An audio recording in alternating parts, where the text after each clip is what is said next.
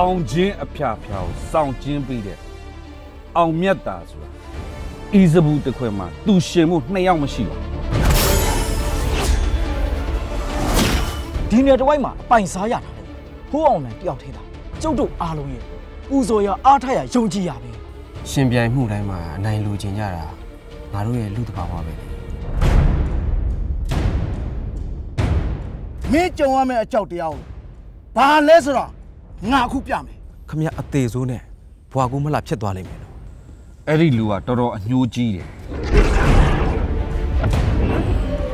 ကဝေချုပ်လိုပုံကိုမျိုးကတော့ငါလိုဆရာကစင့်ခေါ်နေကြတယ်ဒီတော့ကသူ့နေရာသူ့ပိုင်နေဆိုတော့သူစင်နဲ့မာယာဆက်ပင်းတယ်